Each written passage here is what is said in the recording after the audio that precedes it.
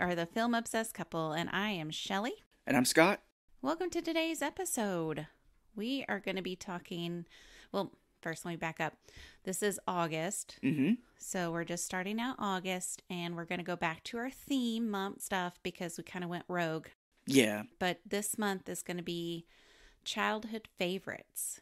Yes. Yeah. Our, our childhood favorites, not yours. Sorry. Well, if somebody wrote in, maybe we would, but I know, right? So I mean, we totally would. If you have a favorite, write in. We would love it. yes, yes, absolutely. So we're starting off with my favorite, Teenage Mutant Ninja Turtles. And every time when I hear that, I just can't help but hear the music in my head. From the show, Mm-hmm. The Teenage Mutant Ninja Yes. Turtles. Turtles in a half shell. Turtle Power. Turtle power. That I, I read not too long ago was actually written by the guy who is the creator of Two and a Half Men. Oh, wow. Yeah, crazy shit. He must be rich because that's. He's probably, I mean, I can't remember everything he's involved in, but Two and a Half Men was huge, and Yeah, right? and he's done other show. Big Bang Theory. Oh, okay. Yeah, he is a millionaire, I bet. possible billionaire. I mean, good for him because that's. You got to be clever. It takes me forever to write something. Yeah, If I, especially if it's just off the top of my head. Oh my gosh. Yeah. Well, you know, it's not like it's Shakespeare. He's writing Big Bang Theory. You just have four friends being like, "Oh, we're nerds, bazinga!" and he's like, "That's a perfect script."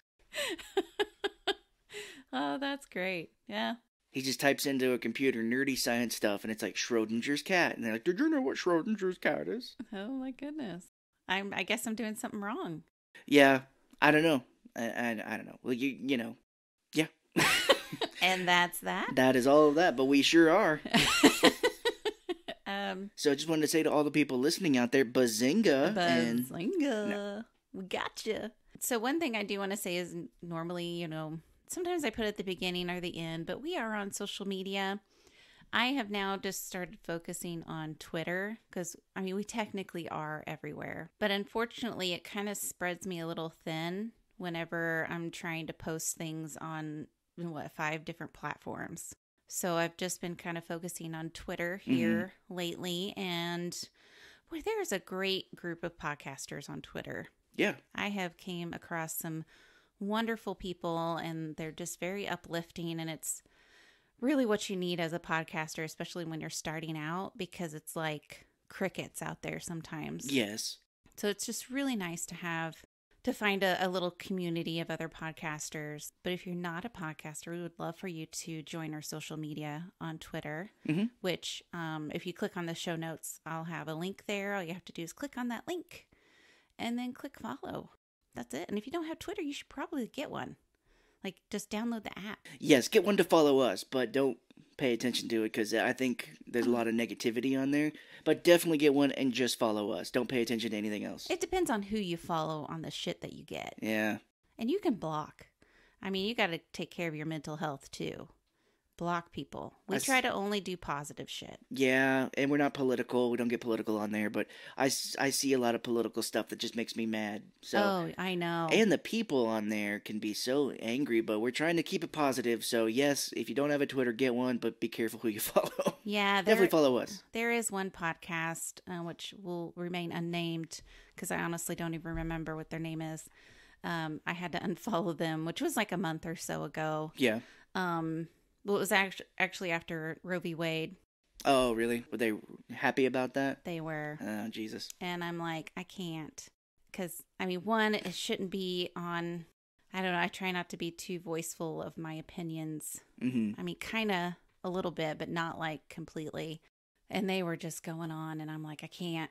I can't, Yeah. I can't even look at it because at the time I was just so sick to my stomach. So, Yeah. Literally. Yeah.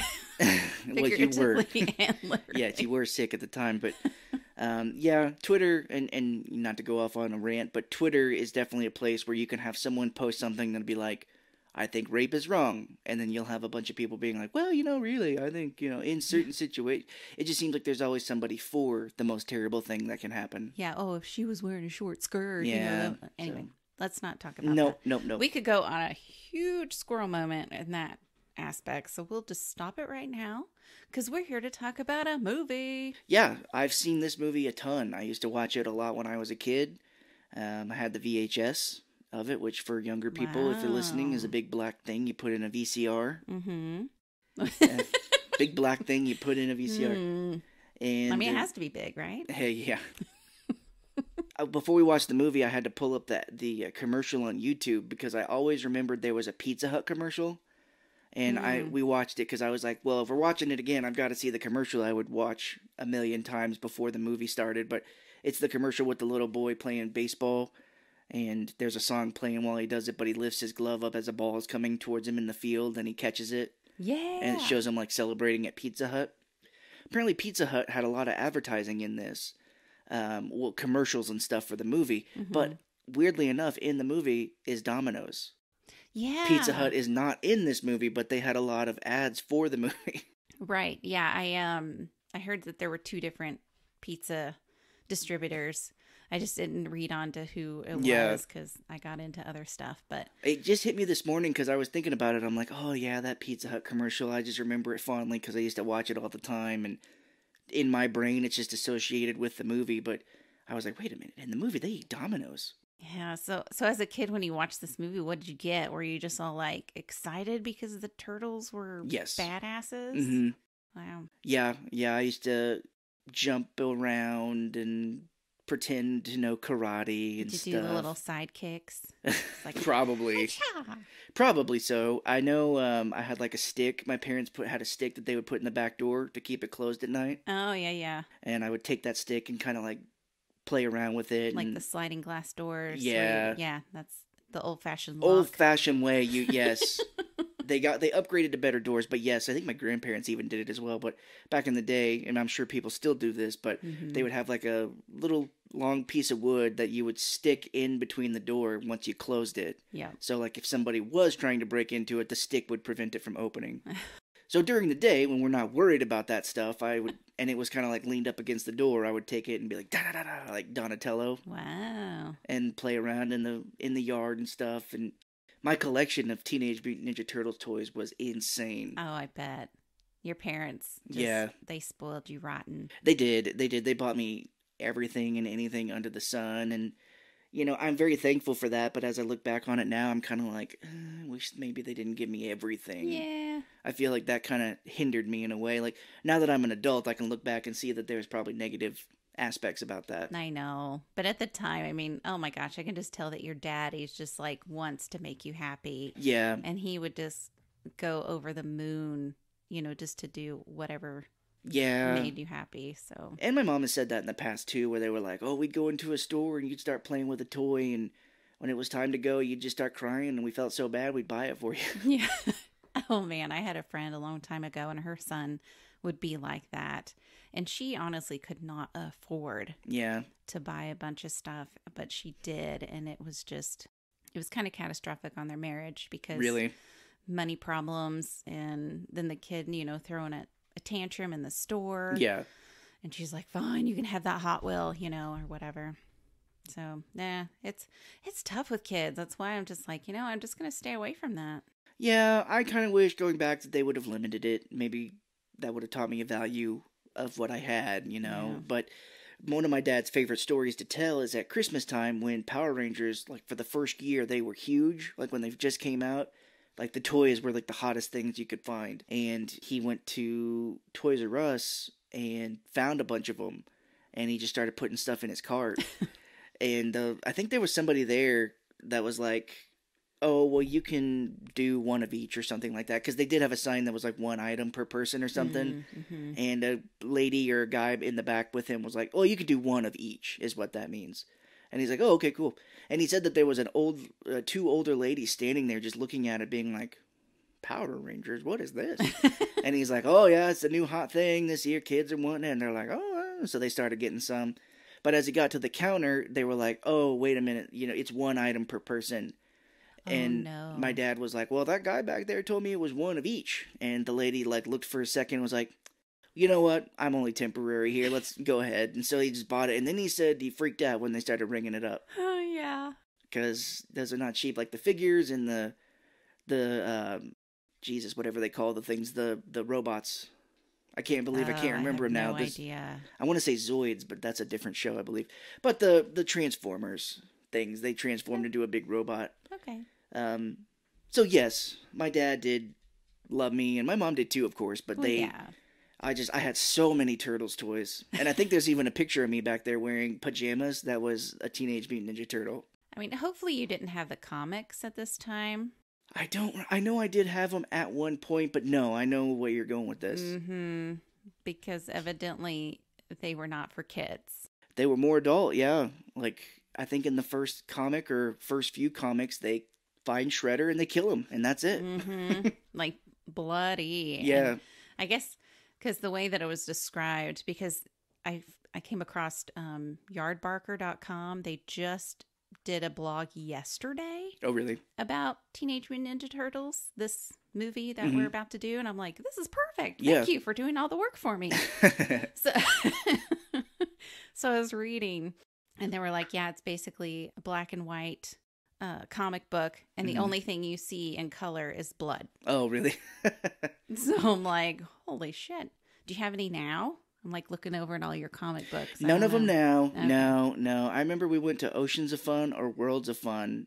Well, we went to both, but I don't remember which one I got it. But my parents did buy me a Teenage Mutant Ninja Turtles like single issue comic book while we were there. Hmm. So I remember reading it. It was weird. It was had something to do with like space or something. He was kind of out there, but Wow. I wonder if I could look that up now because I remember Donatello, the guy who wears the purple bandana. Mm-hmm. He was like all white for some reason. He was like wearing all white like gear and stuff. He was like, I don't remember, but I just remember reading it, being like, "Whoa, this is strange." Feeling very holy that day. I guess. um, this has nothing to do with this, but talking comic books. One time when I was a kid, we were at the store, and what I would normally do, we would go to, um, geez, the place you used to work at. Miss O'Malley's? No, no, it was the uh, like the grocery store. You used to work in the cafeteria. Oh, or the, Smitty's. yes, Smitty's, old caf, old um, like price cutter type store. Mm-hmm. But we would go to Smitty's right by my parents' house, and I would go to the book area and just pick up like a bunch of single issue comics and just walk around with my parents while they shopped and read. Yeah. And one time, my parents were unloading groceries and they found uh, Aliens vs Predator comic, and they were like, "Oh, I guess this was in here, and we just didn't notice it." So I was like, "Oh, cool." Um, so I my first nudie magazine Yeah. I ever saw was in a grocery store. really? Yeah. My brothers were looking at it and I had to, you know, of course, they're older and I'm the little twerp sister. And I had to get in there and be like, What you looking at? Oh yeah. There was like this naked lady and I'm like, Oh my gosh. Wow, back in the day and before packaging, I guess, huh? I think so, yeah. I bought a Playboy one time at a Barnes and Noble when I was a teenager, and I was like, "I'd like to buy this, please." I was like so nervous. I mean, knowing my brother Sean, he probably opened it Oh, if yeah. it was packaged. Yeah, I bet. I got a Playboy in the mail one time when I lived with my parents. It was just this black packet, like this black plastic over the magazine, and I'm like, "Well, what is this?" So I kind of opened the package a Mm. little bit, and I could tell it was a Playboy, and I'm like, "Well, I gotta put this back in the mail. Someone's gonna want this." I was like, at the time, I'm like, "What was I thinking? I should have just kept it." anyway, You're so innocent. Yeah. Cute. So one more question before we dive in. Yeah. Do you know like all the colors of the turtles? well, absolutely. Okay. Oh, duh. Like, why would I even Yeah. ask that? Um, do you want me to list them? Yeah, do it. So Leonardo's blue, Donatello's purple, Michelangelo's orange, and Raphael is red. And then in the show, they had a TV show when I was kind of in middle school, which was very low budget. But they introduced a new Teenage Mutant Ninja Turtle uh, female called Venus de Milo, What? and she was light blue. Holy shit. Yeah, apparently the creator, I think it's the creator, hates this character so much. Yeah. They, It's it was female, of course. well, I don't No, know about that. The show was very low budget, but at the time I was in middle school, so I was like, "Holy shit, this is cool!" But I went back not too long ago and watched like an episode on YouTube or like a clip, and I'm like, "Jesus, this is cheap. This is cheap. Wow. This is cheap as fuck." oh my goodness. I guess they're like, no girls allowed, just boys. I don't know. Like, I don't think the creator of the comics had anything to do with it, so they created a new one, and he was like, "That's dumb." He was like, "You Mm. could have done it better." yeah, it's really hard to introduce something into something that's so popular. Yeah, So, I mean, you really got to do it right. And I just don't even see how you would do that here. What's funny about that show is that you know their bandanas. Mhm. Um, the show was so cheap that you could see the eye holes for the people wearing the costume underneath the bandana. Like there's like a little hole underneath the bandana. Oh no. So it's that's when I went back and watched it. I was like, oh boy, they didn't have any money for this. So okay, okay. I came up with one more question. Yeah. Do you think this movie held up? I do. You know, like through time. It's definitely the most serious of them. As we go further in the movies, they get more campy, like kind of more Mm. childish out there. The sequels. Yeah, the second one, Secret of the Ooze, we're getting weird, and then the third one, they go back into time in ancient China, Damn. and um, we just got stories upon stories. Now, I swear, this is gonna be a three-hour We will episode. get to the movie eventually, people. Hold on. So for the third Teenage Mutant Ninja Turtles movie, I don't think it was called Turtles in Time. That's a game, I think. Anyway, the third one, when they go back into ancient Japan, Mm. um, my parents at the time did take me to go see it at the theater, which was the theater I would end up working at years later. I think it was Oh, Dickinson 8 at the time. But there was some radio station there or some giveaway where this guy was giving away like toys, like Teenage Mutant Ninja Turtles toys. Oh, neat. And everybody around me basically, it felt like was getting called. They would be like, "Oh, if you have uh, sunglasses on, come up Uh. here. Oh, that guy's got glasses." And I hate that. I was young enough. It was 1993, so I was five. hmm So I was bawling. I was crying because I was like, "I want to do it." And I guess uh, the way my dad tells it is like that guy, that radio guy, saw me. And he saw my dad was wearing like a Kansas City jersey or, or Ohio jersey, probably Yeah. Ohio. But he was like, "If you got a uh, Ohio jersey on," and my dad came down and I got like a because it was in Japan. There was a bunch of guys and horses and stuff, so I got like a big horse with like a little guy on top. Oh, that was nice. Yeah, I always, oh man, I hate that because I'm like, if you can't give to all the kids, yeah, it's almost like you shouldn't give it to anybody because I always hated feeling left out. yeah, yeah. I know, and, and that was back in the time when I would make myself so sick because I would get so excited to go to the movies. I would get so such bad migraines because I would get so excited. Like we That's went and adorable. yeah, we went and watched the Three Musketeers with Kiefer Sutherland. hmm And I remember I had the worst migraine. My dad had to sit in the car with me outside while my mom and sister watched the rest of the movie. But I would just make myself so excited to be like, I can't wait. ah," And I would just make myself so And to be sick. Like I'm sick now. I can't. yeah, I would just get Oh, the worst sad. migraines. That's adorable but sad. Oh gosh. So let's go through this cast and talk about the movie that everybody is just dying to hear. Okay. We got Judith Hoag, who plays April O'Neil. She, funny enough, was not asked back for any of the sequels because she bitched and complained the whole time. You're out of here. Apparently, she was not happy that they would film six days a week, which I can get. But then she also complained about how violent the movie was. I mean, come on. I mean, you gotta know what you're getting into. ninjas. Yeah. Come on. And Robin Williams helped her with her character. They were filming a movie together at the time, but he had he was a huge nerd, so he had a collection of comics, and he would he let her read his Teenage Mutant Ninja Turtles comics. Yeah, I have that in my notes. Oh Jesus, Thanks I'm for stealing that. It's cool. No, it's fine. I'm just You kidding. gave me a face, and I'm like, I wonder what that face was. I'm like, oh, I get it. I was gonna say no, it's totally fine. Um, but what you're talking about, she was on the set of Cadillac Man. Yes. Um, and yeah, Robin Williams did. He was a huge fan. So if she's reading these comics that are as bloody and violent as you're saying, she's got to know what the hell they're doing. Um, yeah, You're making this movie about a violent comic book violent as well. I don't like this. maybe she's just like, oh, they can't make it this violent. It's for kids. I don't know. And that's the problem. It's not. That's what the other movies do is they start to go for kids. And it's like, you know, as a kid I was very happy, but now I'm kind of like, eh, Right. make it a little more make it a little more serious. Mm-hmm. So Corey Feldman, he played Donatello, Yep. which I had to put the colors next to all of them because I have no fucking clue. Oh, really? He did not play him in the second one, but did come back in the third. Yeah. Um gosh, you know how I am with names. This is good practice. Elias Cotius. Cotius. mm-hmm.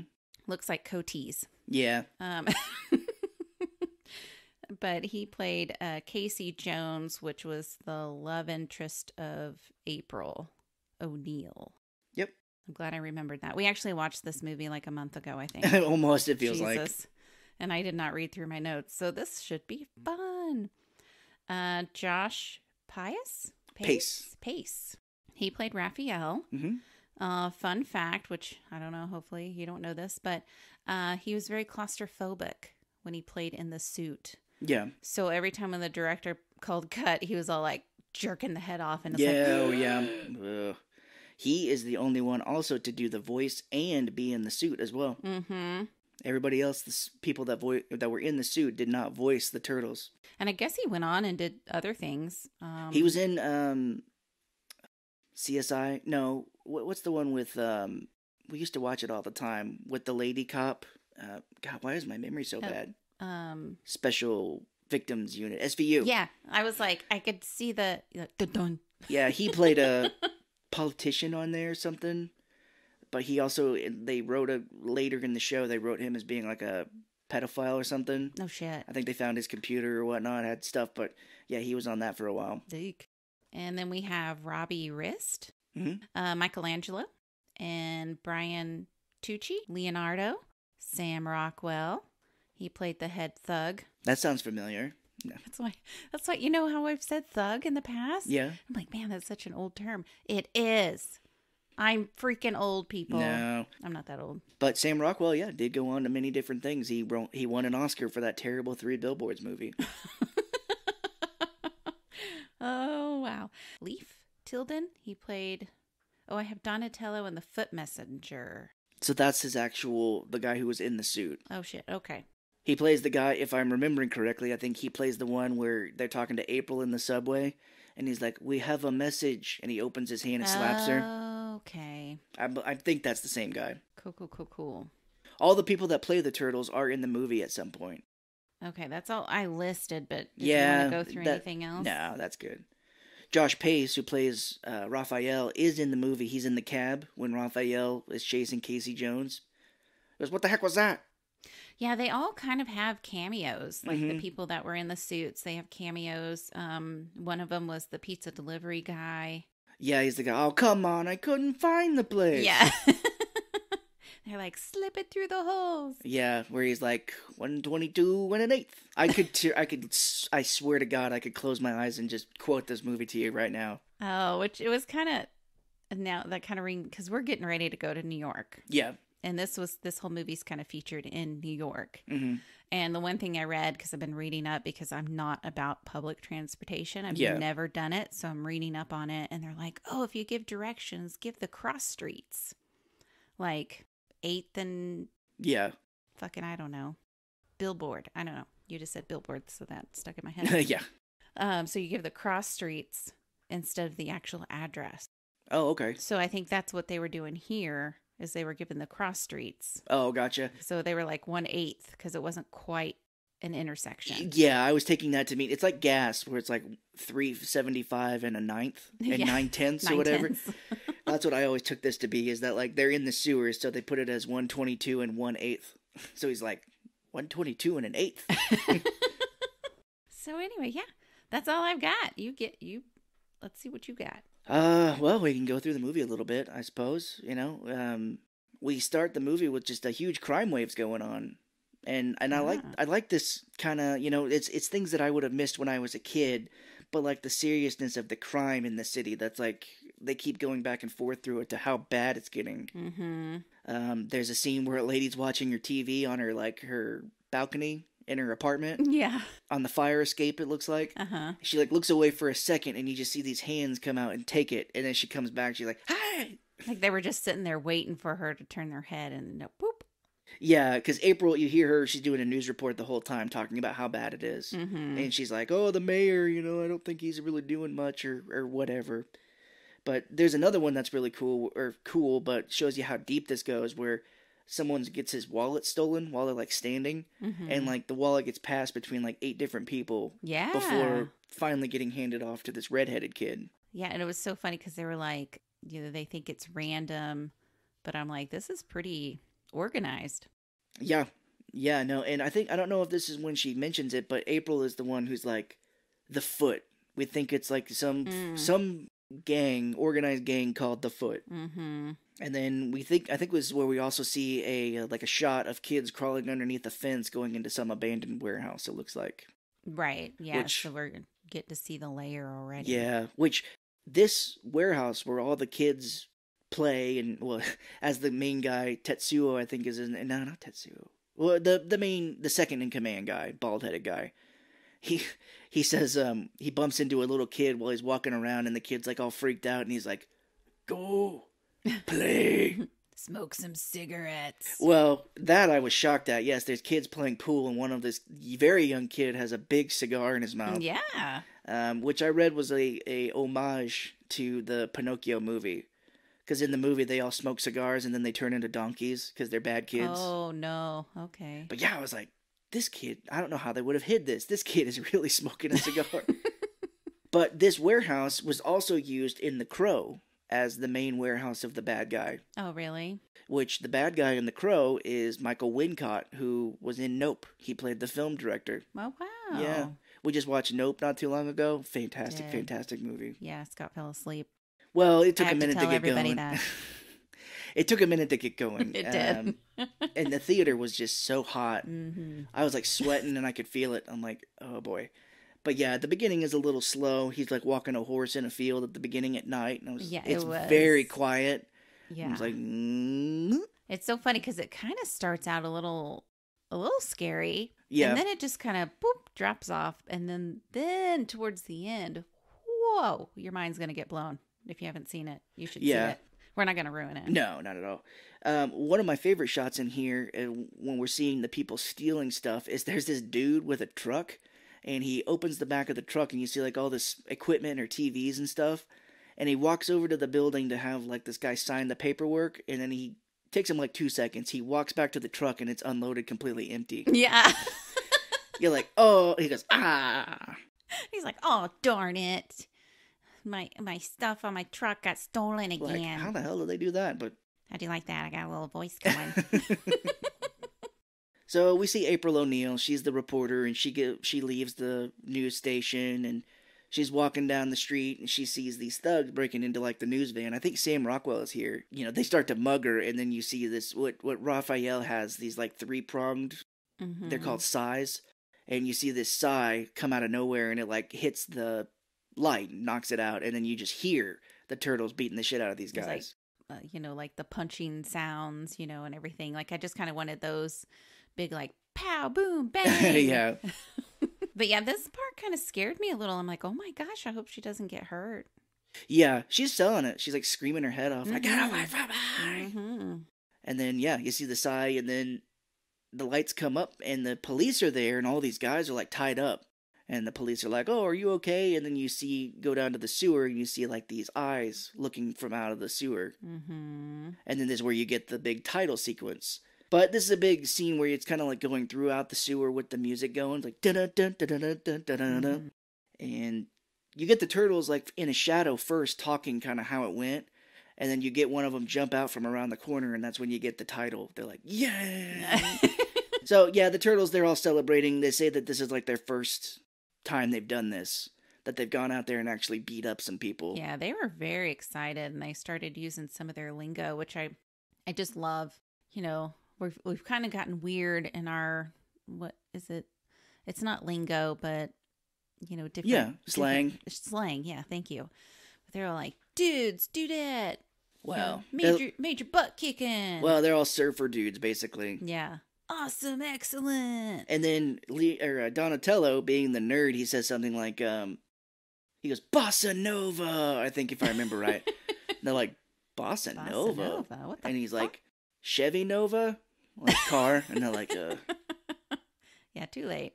So they go into their lair, which is in the sewers, and it's it doesn't look too bad. I mean, Yeah. later the redheaded kid Danny has been sleeping down here for a while. Seems like I'd be afraid of hobos or whatever, but I think the couch was pretty broken down and ratty. I imagine I would not have wanted to sit on that. Yeah, I imagine all. they are just finding this shit down there. So it probably smells awful. But I can. Oh, look. which, by the way, these sewers are gigantic.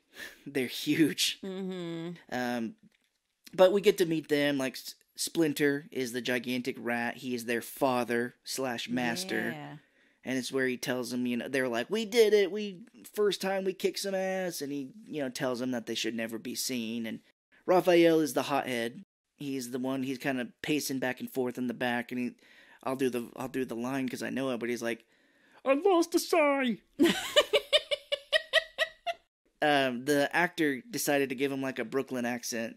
I read online. Oh yeah. But he's like, it, Splinter's like, then it is gone. Which I don't know if that's a racist voice. It's just kind of how he does it. no, yeah, he is. I mean, it's just like very It's a smoking voice. Like Zen master ish. he's like, then it is gone. And he's like, but I can get it back. I can get it back. He's like, no. So they're talking, and you hear Michelangelo like ordering pizza in the background. They've got a payphone down there, and you hear him. He's Mhm. ordering pizzas. And he's like, no anchovies. He's like, you put anchovies on this, and then Splinter throws like a phone book at him.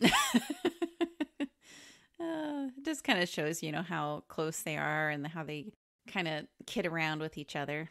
Yeah. So, and Splinter, he's just this one of the very first scenes we have with him. He starts talking about how he's gonna die one day. He- Yeah, he's just mean, like, one day I will be gone. get depressed here. Jesus. Yeah. He just keeps telling them they need to come together and everything. But yeah, he's like, one day I will be gone, and you will need to come together. Yeah, maybe it's like later it gives you that, oh no, is he gonna die? Yeah, probably so. So they all start meditating, and this is where the turtles start dancing to Wipeout. Like ba-da-da-dun-dun-dun-dun-dun. and Leonardo's like, "Well, it's like meditating." So this is the pizza scene we were talking about. Michelangelo's waiting for it underneath the sewer grate, and Donatello's like um, skateboarding down in the sewers, and Donatello's all like, "Hey, did you know what Splinter said? You know?" He's like, "We're about being alone without him here," and Michelangelo's like, "Pizza guy's got thirty seconds." and Donatello just keeps trying to talk to him, and he's just so worried about this pizza. yeah. And he's like, well, that's it. 30 minutes, three bucks off. But the actor who plays Michelangelo shows up as a pizza delivery guy and he puts this pizza like sideways down a grate.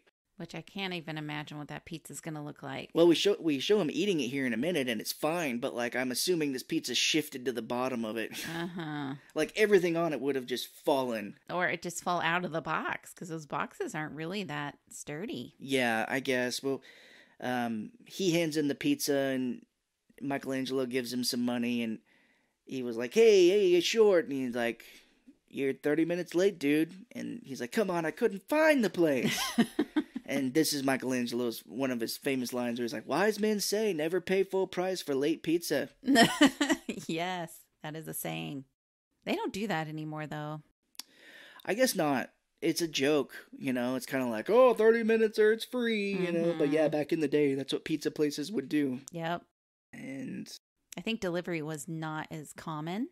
So Yeah. they were trying to get it going. But now everybody does delivery, so it doesn't matter. Yeah, no, yeah, absolutely. Squirrel moment here. I re- I watched a video the other day of this guy. It was like it looked like it was some sort of dental office or or doctor's office, but this guy went in and he was like, he did deliveries for Chipotle, and he's talking to this lady at the desk and he was like, I delivered you Chipotle yesterday, and you wrote on the thing that it never got delivered, and I've gotten fired from my job. Oh. And he was like, "Did you get it or not?" And she's like, "Oh, I don't, I don't know." He's like, "What's a corporate number? I'm gonna get you fired." And yeah, dude, it sucks. Holy cow. It's I don't think they go, those people get treated very well. Oh, I can't imagine. Yeah. Oof. Like all you got to do is just say you didn't get it, and they get fired. But that Like- doesn't seem right. You think I think there's probably some underlining causes there. Yeah. Maybe maybe there's more to this story that we just don't know. Well, Raphael, he's all pissed off that he lost one of his weapons, so he goes out to see a movie dressed as like a uh, flasher. He's got a big trench coat on, like he's gonna go flash people. He's got a trench coat and like a hat on. Let me see your turtle shell, buddy. Yeah. Woo. Yeah. If I was in the theater and I saw a dude sitting in there like that, I'm like, he's he's jerking off. Oh, totally. he is naked under there and he is jacking off. Yeah, he's not taking that. It's like, it's like 60 degrees in here, and he's not taking his jacket off. Yeah, he's playing with himself. Jerking off. He, which they did that in the cartoon, from what I remember. They would go out. They would jerk disguise. yeah, they would go out in disguise. That's how they teach little boys what to do. I guess so. Well, um, well, Raphael he sees a guy snatch a lady's purse, and he Yeah. trips this dude, and the purse throws it back to the lady, and the guy's all like gonna make a move on him, and Raphael like pull like a like he's got a gun. He points to his side, and he's like, eh, eh, eh. don't want to mess with me. yeah. So the guy runs away and jumps over. I'm assuming into Central Park. Mm. Most of this movie I read was actually filmed in North Carolina with some Mhm. shots in New York City to make it, you know, come together. Make it look real. Yeah, I'm assuming that their lair is a set. And maybe even yeah, I don't know. I'm sure they said they filmed it in a uh, the last what I'm trying to get at is the last scene where they're all in like the neighborhood when they're fighting on the roof and stuff. hmm I'm like I was thinking to myself at the time like is this New York? I don't know if this would have been New York. That was built, and so was their underground. yeah. They had to like dig underground, and then I I, read, I couldn't quite quite understand it the way that it was worded, but I guess when they started digging down, they ran into some water, Oh shit. and so they had to pour concrete hmm to block the water so it wouldn't flood. Oh wow. Um, But I would imagine they would need concrete anyway. But anyway, I don't know. It was weird, but Yeah. yeah, they had they built that whole thing, which was part of like the thirteen million dollar budget they had. Which now thirteen million dollars would make It's like nothing. nothing. Yeah. Which is funny. This was the most expensive independent film made until the Blair Witch Project. Yep. Wait, most successful. It was the most successful independent movie made until the Blair Witch Project. Yeah, I guess maybe maybe it made more money. It did- right. That's successful. Yeah. Because I don't think the Blair Witch Project would have cost more than thirteen million, but God no. most successful, yes. So, and Corey Feldman kind of got screwed over by that. He got paid fifteen hundred dollars to do the movie. Yeah. with the impression that it would be kind of a low budget indie movie, and it Uh-huh. went on to make like millions of mon- of dollars. that sucks. So maybe he didn't come back from the second one for that. yeah, he's all like, "You paid me shit." um, well, Raphael chases this dude into Central Park, and he finds he runs into Casey Jones, Yeah. and he's just kind of this vigilante wearing a hockey mask. He's got a hockey stick. In, in this, he's got like a bag of different kind of uh, sports equipment. Oh. I think he's got like golf Yeah, Well, that's right. No, he pulls a golf club later when he's Mhm. fighting. Yeah, It, it's what his weapons are. yeah. There's just I like mean- sports What is that? Is it a wiffle bat? Those cricket bat. cricket bat. Yeah, I had one of those. Yeah, because he's he calls Raphael a punker. And he's like, "What? What are you a punker?" He's like, "I hate punkers."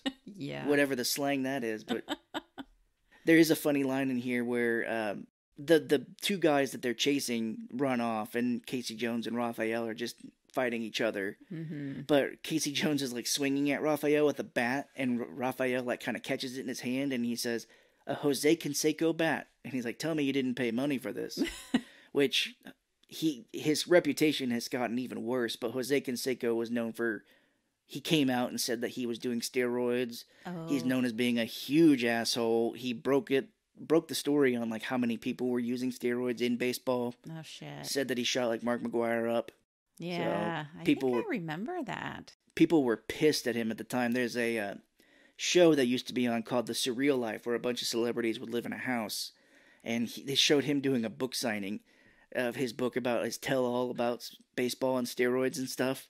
Wow. And all these guys were coming up, and they're like, "You ruined the game. You realize, you know, you're ruining the reputation of the game for what you're doing."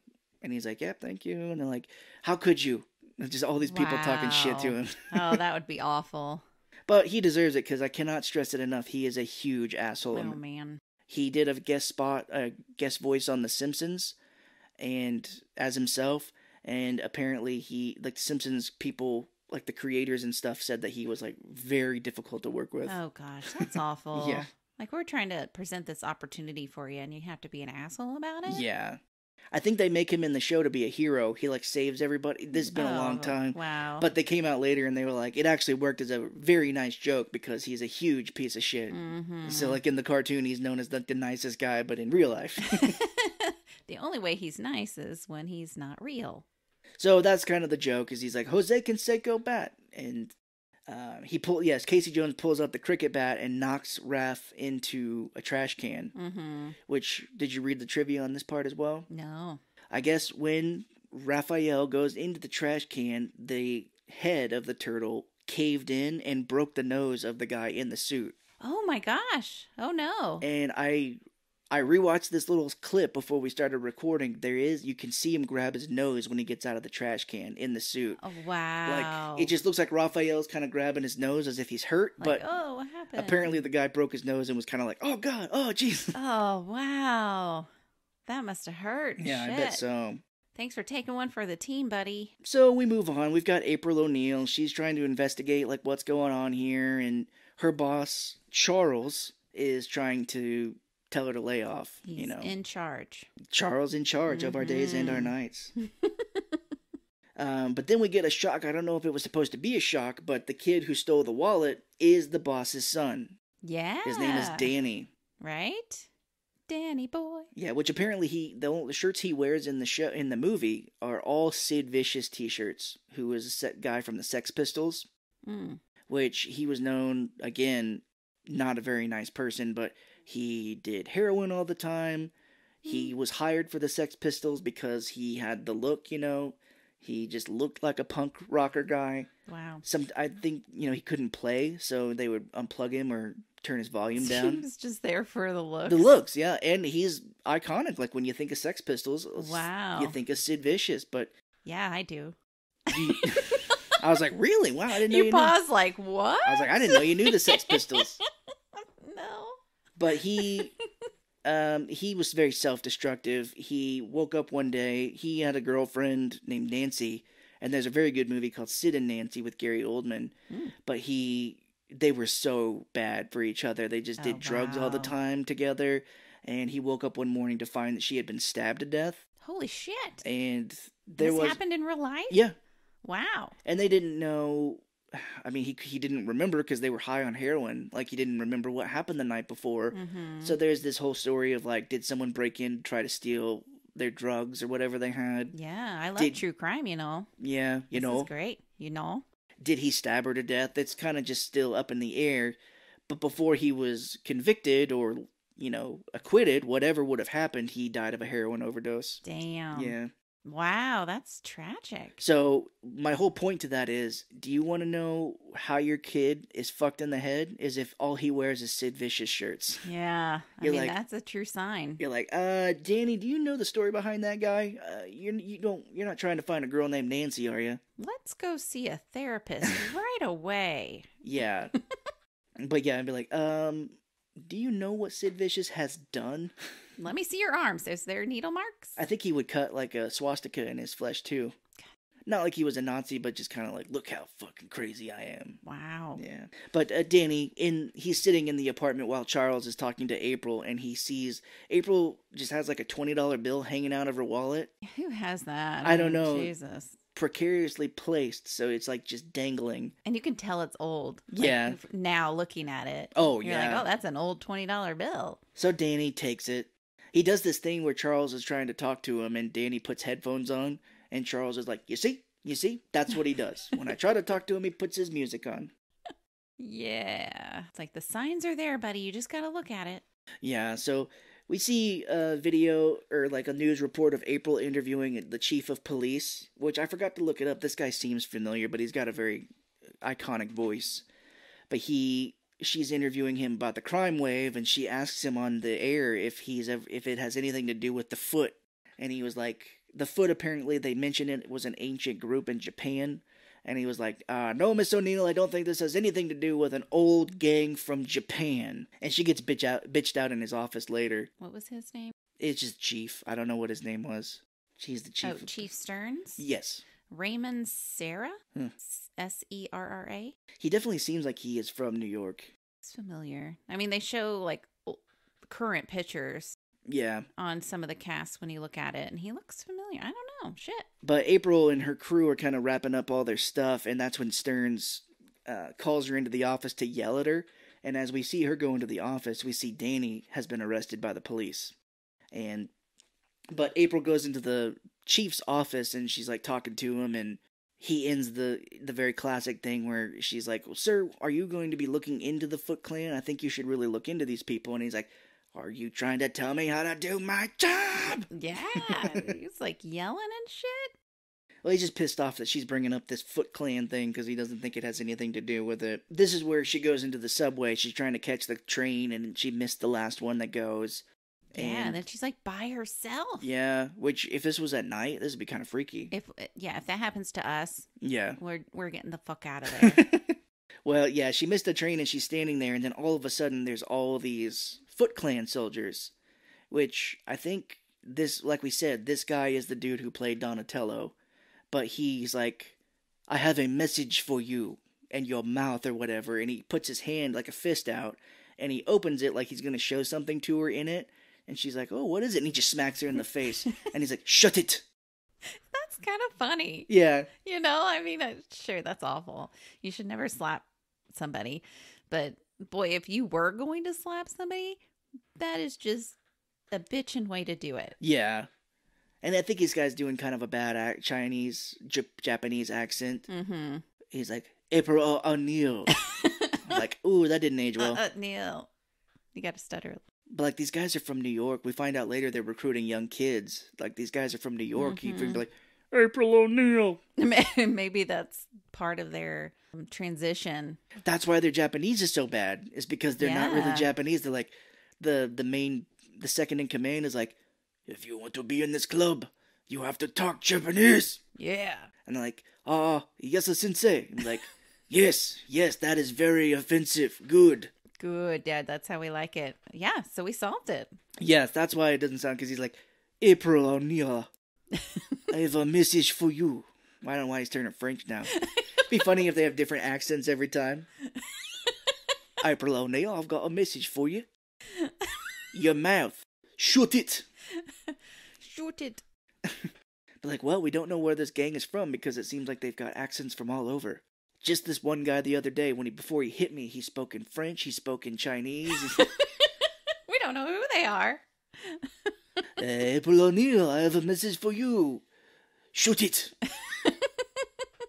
Oh, hi, I'm from Shrek. oh shit. The movie hasn't come out yet, but I'm Shrek. Oh, I kind of want to jump in, but I have no idea. yeah, it's hard. It was hard. I was trying to do Japanese from um, French, and it's hard to do. Yeah, you're doing so good. Well, Raphael comes out of nowhere and he beats up all the Foot Clan and he takes April. He Mhm. walks down the subway line and takes her into the sub- into the tunnels where they live. Going to the sewer, baby. Yeah, and um, this is one of my one of the lines I just remember burned into my memory where I think Leonardo is like, "Are you crazy that he brought her there?" Yeah. And he's like, "Yes, Leo, I'm crazy. okay, I'm crazy." And he's okay. like, "I thought I would spice up the place. A couple of throw pillows, an action news reporter." oh Jesus, that's killing me. Oh. okay. Um, well, a foot soldier did actually go and follow them, so he sees where they're staying. That plays later. You got scary. Um, but April wakes up and sees the guys, and she does this like weird. It's like a high pitched whine. It's like ooh, I can't even do it, but she does it for a long time. It's like. oh,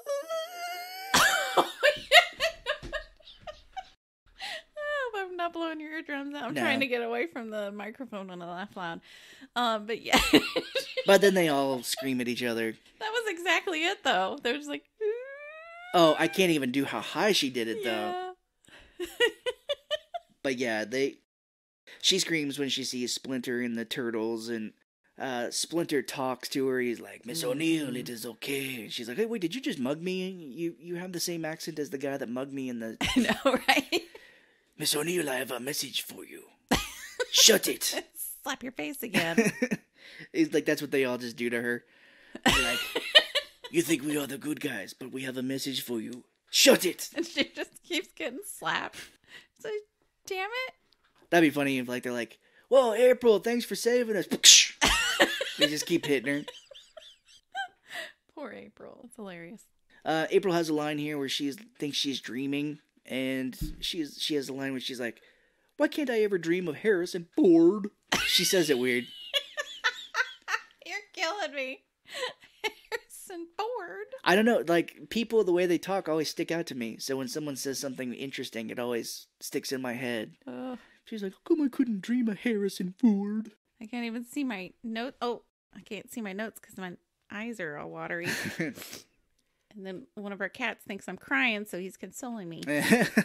well, then we get a little bit of backstory of the turtles here. It says they've lived in the sewers for 15 years, and Splinter says he used to be a rat in a cage, despite all his rage. thank you, thank you. yes. He was uh, the pet of Master Yoshi, who this dude was like a martial arts guy, I guess, because it shows him doing it, and it shows Splinter like learning it. Yeah, as like a little rat, like a tiny rat. Yeah. But Splinter says, we can tell it here. It doesn't matter. We don't have to wait. Basically, what happened with Splinter's backstory is that Master Yoshi was in love with a woman, with this other Mm, guy, Love Oroku-san. affair. Yeah. Well, I think they were really in love together. Yeah. But this other guy was jealous and wanted her for himself. His name was Orokusaki. Oh, And, um, Rokusaki. That's yeah. fun to say. Orokusaki. You should try it. A Rokusaki. Orokusaki. Suki. Suki. Just doing True Blood. Sookie Stackhouse. Splinter learned martial arts by watching him. They traveled to New York for some reason, I forget. But Master Yoshi comes home one day and his this dude is wearing construction gear. He's got like a hard hat on. So like when you when I first watched this as a kid, I don't know why, but I just assumed it was ancient China. but then when he comes in later, he comes in and he finds that his wife or whatever uh, is dead. Yeah. But this dude's wearing like hard, a hard hat and construction outfit, and I'm just like, wait, what time is this? What time? It's He- ancient China. well, he said 15 years ago, but I guess I guess people could be up to date with martial arts and still be in the time current time frame. But yeah. when it shows him doing like the martial arts, I was like, oh, a long time ago. But I'm like, wait, rats don't live that long. So, but basically, what happened is a Orokusaki killed him, and then killed Master Yoshi Yeah. and Splinter's cage got knocked over. Splinter escaped and scratched the shit out of Orokusaki's face. Yes. And Orokusaki had a saw, like a sword, and cut off one of Splinter's ears, like the tip. Damn it. And then Splinter escaped into the sewers, Only the tip. just the tip. So he came upon turtles in the sewer, um, in a liquid, and it shows like a like a canister, and it says radioactive. Oh shit. And he's like, I, he says he put him in a coffee can. He's like, I, I put him in a coffee can. Well, everybody knows that if you combine toxic waste with coffee, you get Teenage Mutant Ninja Turtles. with coffee. That was it. That was the catalyst. uh, but one day they started talking, and he was freaked out, and he was teaching them how to do kung fu, martial arts, and stuff. And and he spoke one time too, and it shows him he's like, like he oh spoke. Oh my gosh. Well, I think the first words one of them speaks is pizza, yeah. pizza. like a little baby Yeah. voice. That's funny. and then you see one of them in the background is going radical, radical, radical. excellent, excellent. yeah. So he's like, "That's our story." Fifteen years later, here we are. Boom. And he's like, the Foot Clan, I don't know if they know it's a Rokusaki at this point. But he was like, oh, the Foot Clan, yes, it's from ancient Japan. They've been around forever. And we, you know, standard hero stuff. We try to stop the bad guys. Yeah. Oh, and he, he introduces him at this point, too. He's like, Leonardo, Yeah. So you just see Donatello. all the different because they weren't really introduced before. No, I don't think so. But he's like, Michelangelo. And Michelangelo's like, it's me. Or no, Michelangelo goes, uh. I think one of them. oh, and uh, does some kind of funny thing. Someone, yeah, and Raphael is like um, picking his teeth with his sai. Like, "Mm." Mm. so they take April back to her house. They go up through the sewers, and they're just walking through these sewers here. You, you would think they would come across like a dead hobo down there, Oh damn. shit everywhere. It, yeah, it looks way too clean. But and the turtles don't wear shoes. Eesh. Yeah. But like one time we were walking down here, and I stepped on a needle, and I felt weird for a few hours. Surprised they don't like cut their feet up. Well, I'm sure it's turtles. They probably have like mm. harder skin or something. I guess so. Yeah. So they're all having fun and they're talking. You know, they're doing imp- or Michelangelo's doing impressions for uh, Oh, April, Yeah. Mm-hmm. and he's doing uh, James Cagney, which is an old actor in the old day, olden times, which we may get to at one point on our other show. He's an old actor from that time frame, but yeah, Michelangelo's like, "Oh, you dirty rat! You killed my brother!" yes. And April's like, "Oh, Splinter must love that one." And they're all like, "What the fuck did you just say to me?" and then she's like, "It was a joke." Oh And they're like, "Oh." Just calm down. There is something funny that happens where she was like, "Well, I would invite you guys into my apartment, but all I've got is cold pizza." And Mhm. Michelangelo like pops out like a gopher in one of those games. It's like, he's like, "Let's go for it." Yeah, and then she was like, "What do you guys like on your pizza?" And I don't remember who it was, but they're like flies, bugs, you know, the, the, same thing. And then he's like, "I'm just joking." Like, "It's a joke. It's a joke." So they leave. They go back to their hideout and they find that it's been broken into and Splinter is gone. oh man. And this is where Ralph screams really loud. He does the where he's like breathing in a few times. He goes, "I'll try to do it my best." He's like, That was weird. I swear, I- I think he's just kind of he's not breathing in, but I think he's more just uh kind of like you know building up to the scream. Gearing up. No, I know what you're. No, I know. You're doing good. I like it. Keep it in. But it's funny because it cuts to outside the sewers. There's an old lady walking, or an old man, I think, but he's walking over the sewer grate and Oh, he hears yeah. him scream. He's like, holy He shit. pokes his umbrella out. He's like, and he just keeps walking. That's what you do in New York. Yeah. Keep walking. No. Well, we cut to. Uh, well, that's funny. I was going to mention in the scene where Raphael goes over the taxi, and the guy's like, "What the hell was that?" Mm-hmm. The the cab driver goes, "Looks like it was some sort of big turtle." Goes, "Anyway, you going to LaGuardia?" It's just like he doesn't even care. Oh, that's funny. So we cut back to April's house. She opens the door, and all the turtles are standing there, and they're all like sad and crying. And Mhm. she's all like, "What's wrong?" And you just Leonardo hit again. I like the way that some people say words. It just sticks with me. Mhm. But Leonardo just goes, "Splinter." I don't know why, but I just love the way that people say words. It just sticks in my head. so in the middle of the night, we see April's boss Charles get a phone call, and it's the chief of police, and he's like, "Oh yeah, we should talk about your son." Mm-hmm. So the next morning, Charles shows up at April's house unannounced, and all the turtles like freak out and go into hiding. Yeah, but it's so funny. She's like, "You guys should," and she like turns around and they're like gone. And she's like, "Hide." Yeah, like, oh, okay, cool, cool, cool, cool. Which they're not that great because you see Michelangelo, he's like hiding under the kitchen table Yeah. later. What? Like Donatello actually is smart about it. When they go into the bathroom, you know, he's in the he's in the shower. I don't know why he opens it, but I think Charles opens up the shower curtain for some reason. Oh, And she's like, Oh. "Don't!" And he opens it, and Donatello is like hanging up from on the, ceiling, Yeah. which is a little more ninja-like. But she says something. She's like, "He's like, what? Why are you freaking out?" She's like, "Because I don't want you to see my unsightly bathtub ring." The- they do have a weird relationship. Like, a boss just comes over to your house and shit, I guess I don't know. But rummages yeah, through your bathroom. yeah, I don't. I Get don't the know fuck why. out. But yeah, he's trying to tell her to drop the story. He's like, drop the Mm. story of the foot because Danny is with him. So it's implied that Charles, her boss, made some sort of a deal to get Danny out of jail. Yeah. But Danny's like walking around in her house and he looks in a mirror and behind him he sees Michelangelo under the table. hmm And Michelangelo's like, oh fuck. So when Danny turns around, he's gone. Yeah, it was like a scary movie. You know, you see something in the mirror and you turn around, and it's gone. It's like, holy fuck. It's funny if one of them just another one appears behind him. It's like breaks his neck.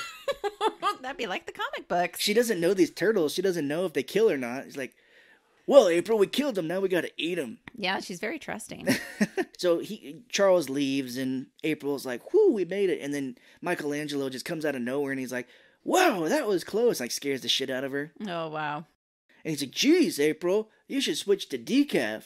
He's got a lot of dumb lines. Oh yeah, there there is a lot of cheesy lines in here, but it it works. So we see Charles and Danny driving through the subway and or through the subway through traffic, and Charles is trying to talk to him, and he's like yelling at him, and he was like, "I don't even know where you got your your Walkman." He's like, "I don't even know where you get one of those, where mm-hmm. you got one of those," and he's trying to talk some sense into him, and Danny just gets out and runs into the subway and leaves. Yeah, I mean, he's in with the wrong crowd, so he doesn't he doesn't want to fess up to his dad. Yeah. And this is where we see the big warehouse where they party. It's got like a huge skate ramp. There's people like skateboarding in there. There's kids playing poker.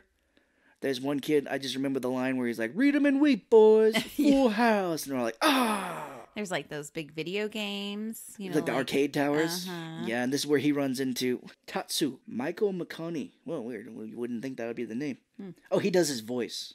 Wow, they dubbed him. So that's not even his real voice where he's like, Go, play. Oh fuck! Wow, poor guy. Toshishiro Obata is the guy who plays him. He doesn't even have a picture on IMDb. Um, but yeah, Sam Rockwell is like showing these kids around, and he's like, anything you want, any time you want. And one of the kids is like, you got cigarettes? And he pulls up like these boxes, and he's like, regular and menthol. Mm, But yeah, a little kid bumps into Tatsu, and not his voice is like, go play. not his voice. And we see in the back room they're training these kids to eventually become foot soldiers. Mm-hmm. These kids are fighting, and you know one of them gets beaten, and then Tatsu comes back there, and the other kid like bows to him, and Tatsu like kicks him in the face. Yeah, they're rough, man. And he goes, "Never lower your face to an enemy." Which maybe that's why this guy that does his voice on IMDb looks white as can be. So maybe that's why he's doing a bad Japanese voice again. Oh, because he's too white. it's not. Yeah, he's not Japanese. Mm. It's like, this is killing my voice now when I'm doing it. Be like, never lower your voice. up." oh man. So now we see this big thing where all the kids or something they they know it's time to go into the back hall or whatever. But Shredder comes out finally. We see him. Yeah. and Tatsu comes in and he's unfurling like his robe and showing all his like spikes and shit that he's got on his Mhm. arms, He's got like um spike. Oh god, what are they called? like gauntlets or something. Shoulder pads. Yeah. And he gives a kid a foot mask and he was like, "Oh yes, you are now part of the Foot Clan." And we see Splinter is chained up in the back. He's like chained to a fence. They put him on a box, which was nice. You figure if they were being mean to him, they would just kind of chain him with no support. But Which it's so funny that the foot masks look like flies. That it's like the fly Yeah. fly head with like um I don't know, it's got like a cloth pullover and then um like metal lattice yes, work no, or something for the eyes. It does look much like an eye, yeah. But Shredder is like, oh, if anyone knows anything about these turtles, and Danny, it shows him speak up. He like raises his hand. He's like, actually, I saw one today. So we see the turtles at April's house. They're watching the news, and April is like, "Oh, I was saved." And if they're watching, Leonardo, Donatello, Michelangelo, or no, I think she says Raphael. It's like if any of he's Mhm. watching, Raphael, thank you. Yeah, special thank you. And he's all like, oh shit. Yeah, because she talks about the foot again, and this is where uh, Charles is in the background of the office, and he gets a phone call from the chief, and you just hear him in the back. He's like, "I thought we had a deal." Mm-hmm. They're making fun of Raphael because they're like they say he's blushing, and Raphael throws a sai in between Donatello's legs. He's like, "Well, check it." They get into a fight. Raphael's all like, "We got to get out there and find Splinter," and Leo's like, "We got to wait. You know, April's Mhm. gonna help us get information." And Raph storms out in a huff and goes to the roof. yeah, he's just trying to blow off some steam. Yeah, and uh, I don't know why this always stuck out to me, but Donatello and Michelangelo are watching the tortoise and the hare on TV, and Raphael is like yelling at the turtle to hurry up. He's like, "Go!" He's like, "Ninja kick the damn rabbit." we know the turtle wins. Come on. Yeah, so Raphael is on the roof, and all these Foot Clan members show up and start fighting him, and Casey Jones is watching him from like a rooftop away. You see him sitting, he's like fiddling with a radio, but he's watching them, and Raphael's like getting his ass. Well, first off, he's winning, and then he does the whole like, "Come on, how do you guys expect to beat me?" And then a bunch more show up. He's like, "Good answer." Yeah, right. Yeah, they just keep coming. They're just a shit ton of them. Yeah, so um, April shows back up and they go downstairs. She apparently lives above a like a secondhand store, like a used goods store, and they're all Mm-hmm. like, like, an antique shop. yeah, place, exactly. And they're all kind of like seeing different things here. Michelangelo uh, walks up behind Leonardo with cymbals and hits it in his head. Oh yeah. Fucking asshole. Not going to be able to hear for a little bit. That's okay. So some time has passed, and we see them walking back up to April's apartment, and April's like, "Is Raph gonna be okay?" And one of them's like, "Oh, I'm sure he'll drop in at any minute," and it shows him drop his body through the skylight. Yeah. Ha ha ha. And April was like, "Oh, is he?" And Leonardo's like, "No, he's still alive." And Michelangelo has a line here with all the Foot in the Clan. He's like, "Whoa!" And I thought insurance salesmen were pushy. And then he gets into a nunchuck off with this other guy. This guy has Hmm. nunchucks, Foot Clan guy, and he's like. Mhm. Michelangelo's like, oh, a fellow chucker, eh? And he reaches behind, and then he does like the nunchucks. I always wanted to do that. It, yeah, it seems like it'd be pretty cool. Yeah. But it it escalates. It just keeps going back and forth until eventually Michelangelo is just spinning them on the tip of his finger, Yeah. and he's like, "Keep practicing." And then they all start fighting. it's like a dance off, but like a nunchuck off. Yeah, they they have different things here where um, Mikey says "Wheel of Fortune" and Donatello spins Michelangelo on the floor and like Mm. hitting people, and I think one one person puts Donatello's head in April's uh, fish tank and he spits water in another dude's face. Oh shit. So then, you know, they keep fighting, and then eventually they realize that there's a lot of people, and Donatello's like, you know, guys, I, I don't think this place is structurally uh, sound, and more Foot Clan members jump in, and the floor gives way. And they drop into the antique shop. Tetsuo shows up with more Foot Clan, and they're, More and more and more. Like yeah. I think he's just putting masks on people out in the street and you're like, get in here. All right, ho- homeless man, here you go. Get in there and fight. So I think the turtles would be able to win if they weren't fucking around. Like I think it's Leonardo. He like grabs onto like bike handles. He jumps up and like hangs from him. He's like kicking Foot Clan members in the face, and then it breaks and he falls to the floor. Yeah, they're just kind of fucking around. Yeah, Michelangelo has the cymbals again. He's like hitting people in the face. I'm like, just fight him. And um, the Foot Clan have like these axes now. They were like handing out these axes, and Yeah. they're all swinging. And this is where Casey Jones comes in, Mm-hmm. He's like, I gotta help these guys. and Leonardo's like, "Who the heck is that?" And Mike's like, "Wayne Gretzky on steroids." so they start fighting again. Well, a foot member is like trying to swing his axe at one of the turtles and misses and hits a power line. Mm, yeah, and he that's starts- right. Getting shocked, and you hear him. He's like, "Ooh!" But then all the lights go out. Yeah, and then a fire starts. Oh, that's right. And and April's like, I got a trap door. Yeah, so they all escape, and Leonardo's like, "Are you coming?" to to Casey Jones, and he's like, "I'll cover you." Aw. and they all escape and then casey jones escapes out and they get into a, a van april has this big van and they they leave and Down it's, by the river. yeah Sorry. and well it's it's kind of a nod to in the cartoon the turtles had this big battle van Mm-hmm. so i think this van that april drives is a nod to that but they're driving away and she sees that her home or her apartment and the antique shop is like burning down to the ground wonder if they copied Scooby Doo. Scooby Doo's got a van. yeah i don't know but it didn't have like weapons and stuff but maybe i don't know Hmm. And we see Danny. He's on like a rooftop across the way, looking at this, watching the fire, and he's kind of like you see, you you get the feeling that he's kind of like, oh shit, Yeah, like, he's got second thoughts. Yeah. Like I probably shouldn't have told him. um, there's a funny moment in the scene where April gets a phone call, like the her answering machine picks up while they're all fighting. Her answering machine is like hanging from the ceiling, and it's like got fire coming down the the line. Mm-hmm. But it, it's her boss, and he's like, April. He's like, I'm Oh. sorry. He's like, but you're fired. Yeah. And I forget what he says. I'm so personable that I come over to your house, but I'm gonna fucking call you and tell you when you're fired. Right. I'm not gonna do this in person, which that would be me. I'd be like, oh, this is awkward. Well, yeah. I- But uh, he's like, I know this comes as a blow, and the answering machine, the wire breaks from the fire and like hits a foot member in the face. nice. And Casey Jones is like, you can say that again, Chuck. Comes as a blow. Get it? Ah. So we see Shredder. He goes into Splinter's room where he's keeping him hostage, and he like smacks him in the face. Hmm. And he's like, shut it. No, he's like, how do these things know how to fight? Yeah. And he's like, uh, duh. Radioactive and coffee. Or Uh, toxic waste and coffee. Duh. He's, yeah, he's like, I taught him. he's like, the fuck are you talking about? so he gives his second in command, Tatsu, a glare, and then Tatsu starts knocking boxes over and shit. He's like mad, Yeah.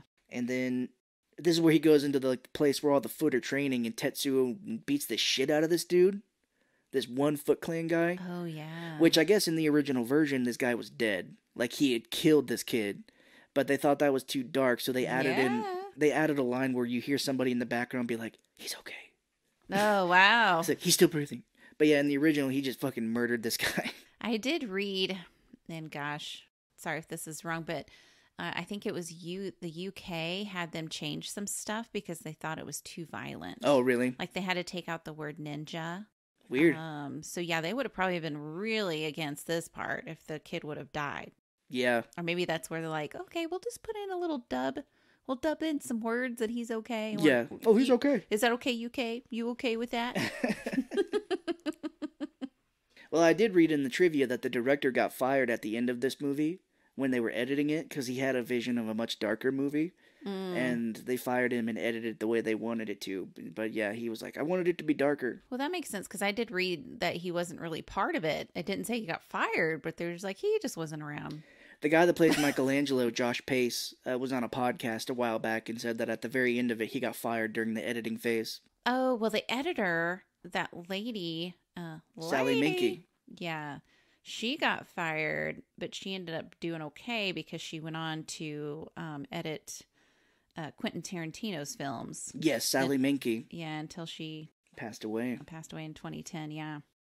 So Danny meets Splinter in the back room, and he's all like, um, he's like, Splinter asked him where his dad is or where is his family, and he's like, oh, my dad doesn't care about me, and Yeah. Splinter is like, oh, all dads care for their kids. He's basically like talking, talking him up. I'm like, bullshit. Not all of them. in this movie for Danny, it, it works, I suppose.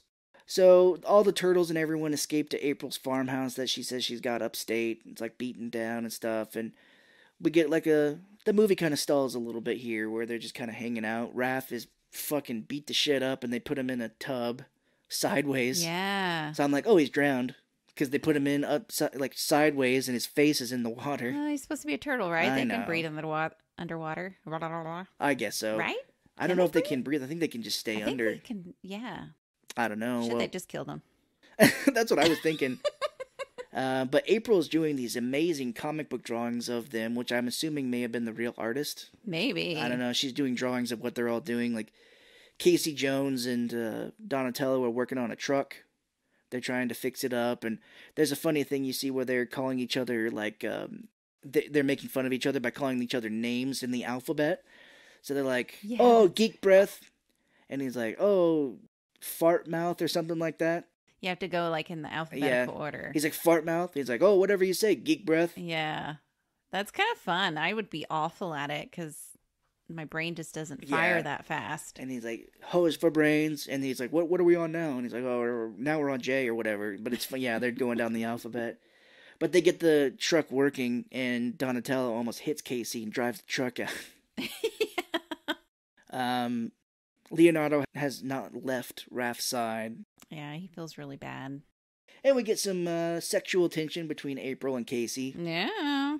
he tells her that she was fired and because she's like well i gotta call my boss and he's like uh chuck And she's like how did you know that and he's like yeah he called uh you're, you're fired He left a message. he calls her broadzilla at one point casey does apparently in the trivia he never calls her by her name in this movie he calls her like toots and Babe and princess Yeah. and all these slang words for women. And she finds it very degrading. And then she's all like, I hate you, but I like you.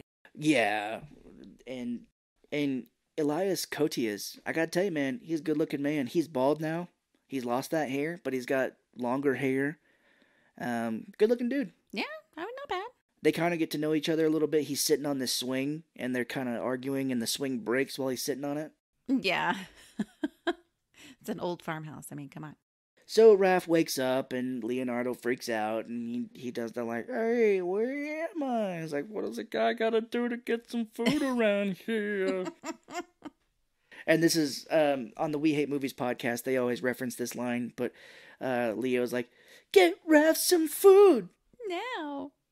That's funny. And you want to talk about product placement here? Raph and Leo hug it out here. They they basically they're like he's like Raph. Uh, he's like you know what I said before about not needing you because he said that he's like good. Who Yeah. needs you? He's like you know you know what I said about not needing you. And Raph is like Leo, don't. And then you hear Donatello go, "It's a Kodak moment." oh, man. You remember that? It was like a, it was an advertisement for cameras back then. It was like, "It's a Kodak moment." I'm like, it's in a song. Mm, I don't know the. It's like a more of a rap song. Kodak moment, come get your moment. Yeah, Okay, oh, anyway. I don't know, but it was an all that out. it was an advertisement back in the day for Kodak cameras. Right. Like it's a Kodak moment. Kodak was a huge name for cameras. That would be like now. Well, I think it's kind of out of date now, but back in the Mhm. day, for them to be like, the cost of buying clothes fifty dollars, the cost of buying gas sixty dollars, Mm-hmm. like the cost of being with your family over vacation period priceless. Remember those commercials? yeah. Yeah. Memories. So we get some more sexual tension where April has like a crick in her neck and Casey Jones is like trying to massage her. And she gets up and he like forces her down on the chair Yeah. and like is is working and she kind of does the whole like oh oh yeah, if you mm. can't see my face. it's a little strange I didn't like this. yeah I thought it was a little pushy. I mean, he kind of comes off as this rough, nice guy. Yeah. But then he was really forceful at this point, and I'm just all like, if you guys knew each other a little longer, I would be like, okay, get yeah. it.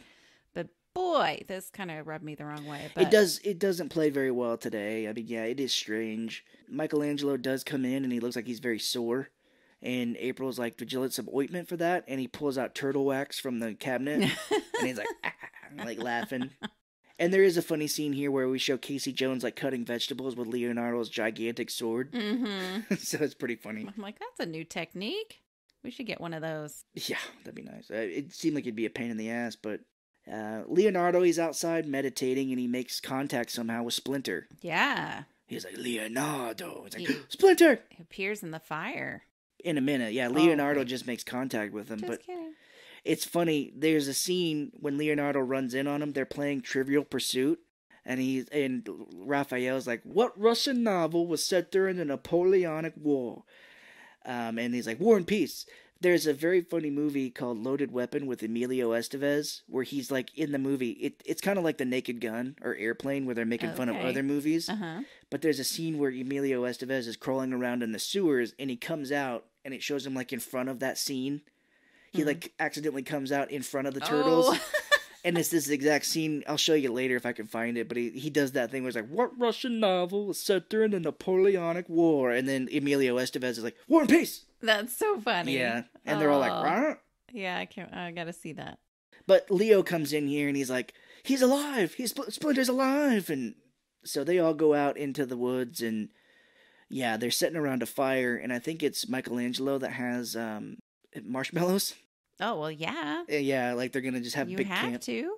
and they're like put those away. And Raphael's like, Leo, if you brought us out here for nothing, Oh, right. so they all have to like concentrate. And then yes, the Force ghost of Splinter appears in this fire. Mm-hmm. It And- turns like blue. Yeah, I'm just thinking to myself when I watched it, like it did, it made sense when I was a kid, but now I'm like, how the fuck are they doing this? now we're getting mystical in this shit. Yeah. Just don't question it. It's fine. So you know, Splinter tells him he loves him very much, and you know they have to come together again. And No. but he's like, "You, I love you, my sons." And Raphael at the end when he disappears, Raphael's like crying. But we do see Casey Jones and um, April O'Neil on the porch. They're like talking to each other, and then the turtles just sh- show up. And Casey has a funny line where he's just like, "He's like, guys, I told you, I hate it when you do that. Like when they just appear out of nowhere." We're ninjas. What else are we gonna do? Well, I don't know if you were paying attention to when we watched What We Do in the Shadows the other night, but we're watching the new season, and Nadja is running a nightclub. But um, the blonde vampire who does the voice of her, her name's Kristen Schaal, but she does the voice on Bob's Burgers of the girl with the rabbit ears. Uh huh. That was the joke they kept doing in the other episode is that she kept appearing like around her shoulder every yes. time. She'd be standing in front of her and then right over her. She's like, "Ugh!" She's like innocent but creepy. Yeah. Yeah, I love She- her. She just appears and is like, oh, hello. She's like, ah. That's who I hope to be one day. So they the turtles say it's time to go back. At some point in the movie we find out that Danny has gone missing from the foot. He he has left. So okay, so the turtles and everybody they go back to their their hideout and Raph says something where he says I think they're hiding in the back of the van and Raph says like it's an immigration joke. He's like, I know what it's like to travel without a green card. It's like shit. Yikes. And Casey Jones is all excited. He's like, "All right, great, great. You guys got like a shop around here or something?" And he sees them call- Mhm. going into the sewer, and he's like, all not happy about it. Yeah, there was a kind of a homophobic line here where one of the turtles, um, or Casey says that, uh, oh, the turtle called Casey claustrophobic. Yes, And he goes, What? I haven't even looked at another man before. yes, And that's like, right. Oh my gosh. He didn't mean homophobic. He says something he's like, "You want to get your nose crushed in?" Yeah. fuck's like, sake. I never even looked at another man. He's like, Yeah. oh come on. That's awful. Because yeah, they go down into the sewer, and and Casey's like freaking out because he's like, Mhm. "I gotta stay down here," and that's when he's like, "You're claustrophobic," and we get that amazing line. Yeah, of, never looked at a man before. Like, oh jeez. That was awful. As if that would be so bad. yeah, even if you did, that doesn't mean anything. You can find another the same sex attractive. Well, they find Danny down there in the sewers. And he says he Mhm. ran away from his dad and he ran from the Foot Clan. And So he's hanging out with them, and then um, Michelangelo and Donatello find a pizza, and they're like, "Oh God!" And, and he's like, "Is it good?" And he goes, "Do you like penicillin on your pizza?" Ugh. And Michelangelo does like the. "Dur, dur, dur." They're giving it a burial. That's like, right. Oh gosh, they just love pizza so they they do. Um, April is showing Danny her drawings that she did while they were at the house, and he's like, "These are really good, April." He folds them and puts them in his pocket. Yeah, these are awesome. Let me just crease them up here. Fucking asshole. Jesus Christ. Well, that just comes into play later, but I yeah, he's like, know. crease, crease. Like, Oh. oh, fucking hell. you don't do that. So Casey is sleeping in his truck, you know, above the sewers, and he can talk about being claustrophobic. It shows him not being comfortable in there. Yeah, He like rolls a window down. it's a tiny little truck. Well, It's I guess tinier. He gets uh, some some air and he can see farther, but I guess. Well, I think they they tell Danny or whatever that you know they're gonna get Splinter or they're looking for him, so Danny knows. But in the middle of the night, Casey sees Danny leaving the sewer and he follows him. yeah, he's like, "What's this little brat up to?" Yeah, Casey follows him back to the big warehouse, and Danny somehow gets past all these guys. He's been gone for God knows how long, but he sneaks in and he sees Splinter. And this is when I noticed it. I was like, oh, he's wearing a Sid and Nancy t shirt at this point. It's like hit both, like Sid and Nancy. Oh wow, And I was like, oh shit, what a weird role model. wow. Um, this is where Splinter tells him how he was a pet and Oroku Saki killed him and mm. blah blah blah. We already went over that and everything. Casey does the classic James Bond here, where he's in here, he knocks a foot soldier guy out and puts his shit on, his yeah, clothes on. That's smart. Classic James Bond. I mean, that's a great way to disguise yourself because I mean, you're covered head to toe. Yeah. And well, Shredder pops out from behind Danny and he sees the drawings that April had made of the turtles. Eek. He's and he realizes that the turtles are back and tells all of his guys to go out and kill them. And this is where we get the scene where all the Foot Clan are going under this into the sewers. You know the there's this dude, this one dude goes into the sewers by crawling in underneath a curb. You know the curbs that they have. yeah, hmm like I the runoff, the water Yeah, runoff. like this dude crawls into the sewer by going into that little hole in the curb. like it. You know. Yeah, in the same kind of spot. Mm-hmm. Dude, that would have freaked me out doing that. Like hmm like oh it gives me free it gives me nightmares to think about it but uh, you know i have a very big feel bad feeling of getting stuck in a very tight space yeah, there's that or getting dude pulled in. yeah there's that dude that died in a cave upside down When he was doing Oh, cave diving, yes. That's like, so sad. that would have been miserable Yeah. like ugh it just it freaks me the fuck out be like, can you inject me with something and just kill me right now, Yeah. please? Sid and sid and nancy me and put that heroin in my foot Do something for God's sakes. i guess they Um, really couldn't do that but i'd be like do something I know, and that's awful. Oh, sorry, you're just gonna have to die a horrible, painful death yeah because we can't kill you because then we would be committing murder. Okay, well that seems like the world today anyway. yeah Moving on.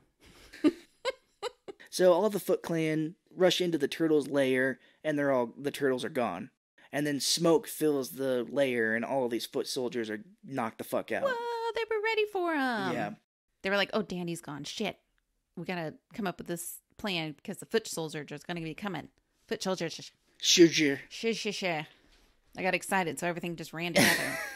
so, and we cut back to the, the the warehouse, and Casey sees Splinter, and he's all like, "Whoa!" Like shocked to see this gigantic rat. yeah, Splinter is like, "Who are you?" And he's like, "I'm a friend. I'm here to get you out." And they, you know, he unlocks him and takes him, and Tetsuo, the number two, is standing there with a bunch of foot soldiers before they can get out. you know it's funny. I think the turtles like puppeteer type stuff is good, like their whole outfit. Yeah, But I wasn't wasn't too keen on splinters. yeah, they make him seem very frail, which you know maybe Mhm. he is. I don't know. It just I was just like, man, I, I they could have done a little bit better. I feel, but I mean, it's still good. It's Still good. Yeah, well, Casey is getting his ass kicked by this guy, and he's talking Mhm. shit to him while he does it too. He's like, "Hmm, yeah, maybe a uh, banaka, little, it'll help you."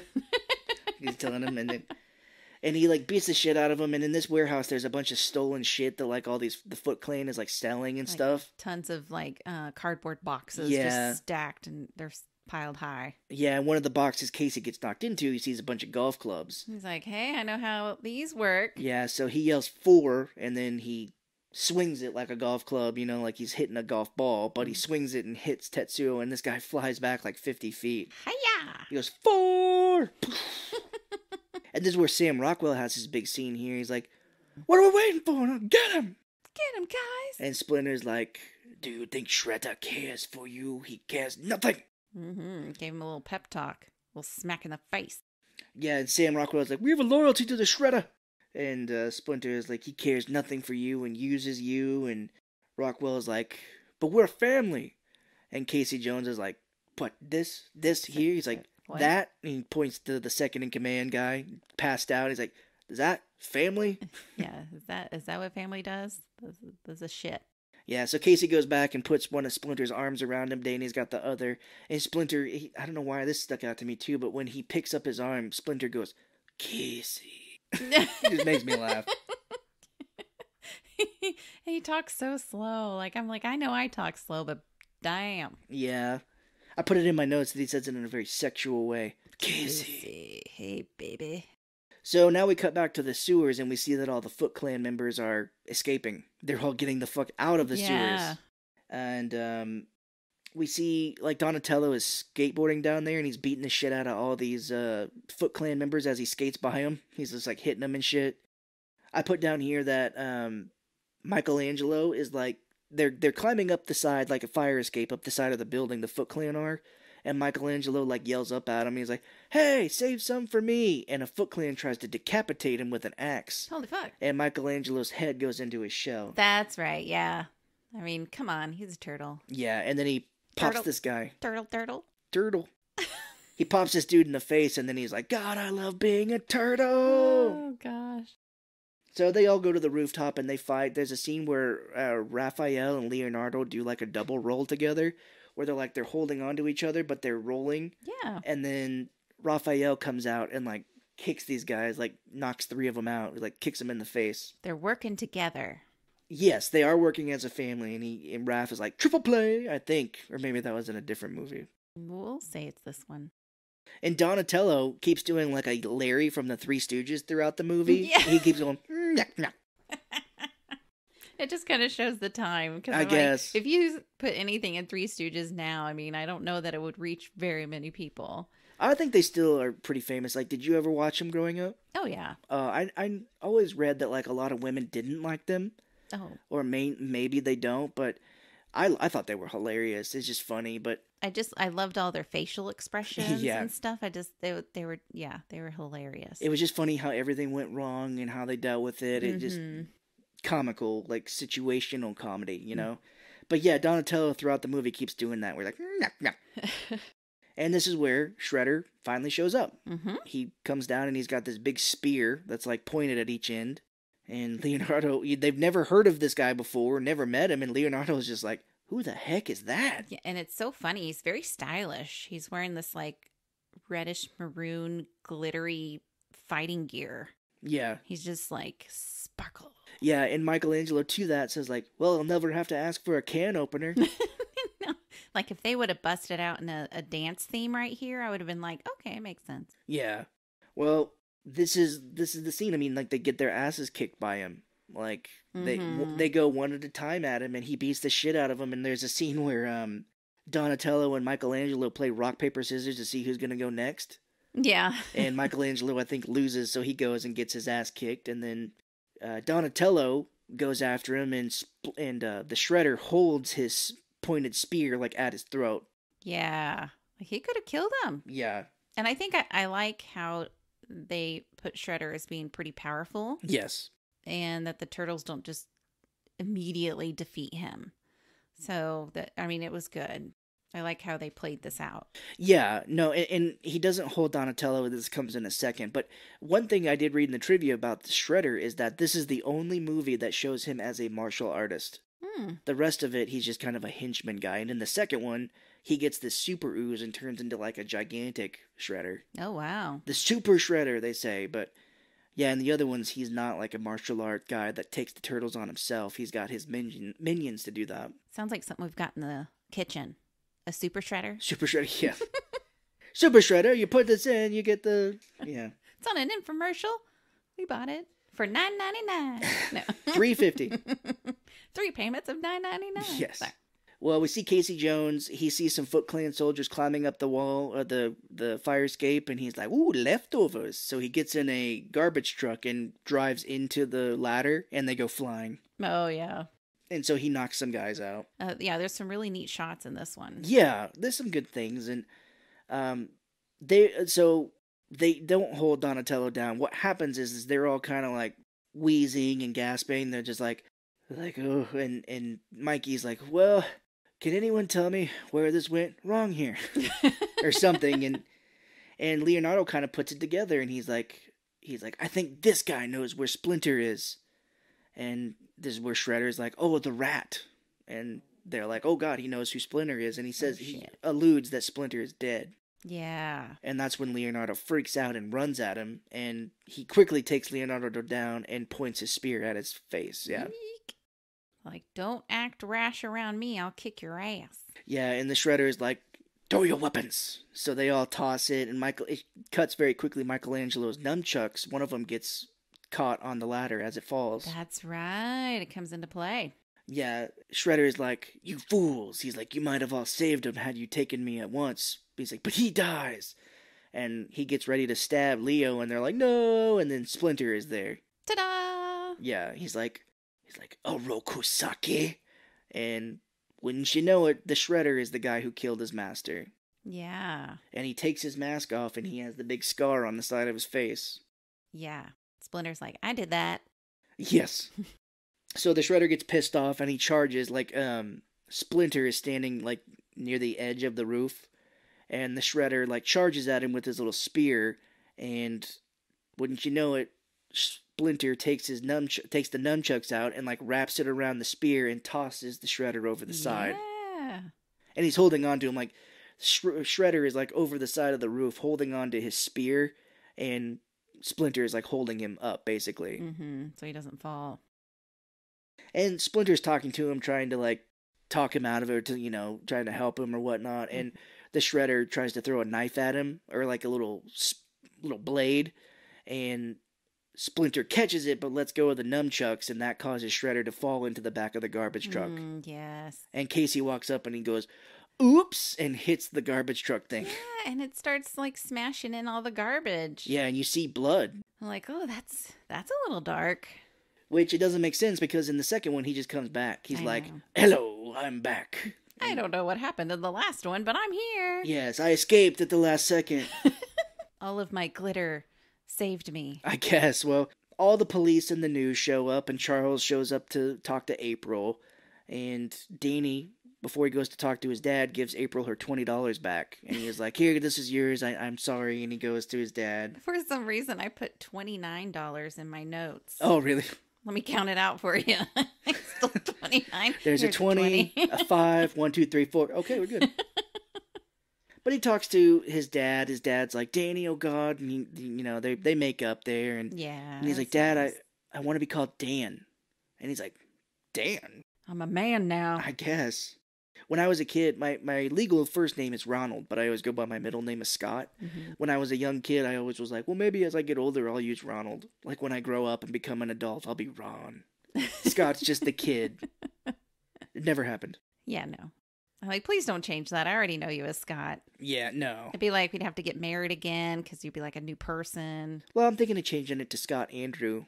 I've always thought about it, but I just the the pain and the pain of changing it is what's holding me back. I know. April and Charles are negotiating, and she he's like, "What can we do to get you back? We need you to report on this story." And she's like, "Oh, well, I heard such and such over at the other station is the highest paid." And he's Mhm. like, "Well, now you are." It's like, "Uh, "I'd like a corner office," and he's like, "You've got the corner office." So she agrees to come back. Good for her. Be like, bitch, you fired me. You're gonna give me all this shit. Yeah.